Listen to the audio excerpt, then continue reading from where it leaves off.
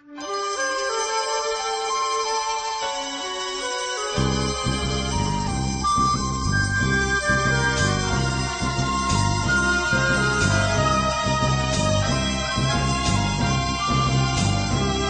the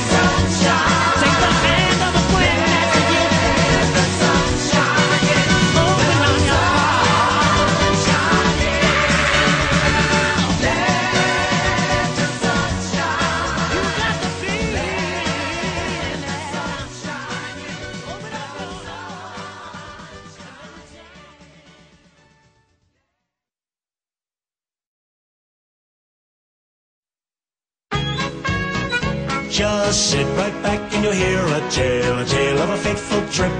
that started from this tropic port aboard this tiny ship. The mate was a mighty sailing man, the skipper brave and sure. Five passengers set sail that day for a three-hour tour, a three-hour tour. The weather started getting rough, the tiny ship was tossed. Not for the courage of the fearless crew, the minnow would be lost.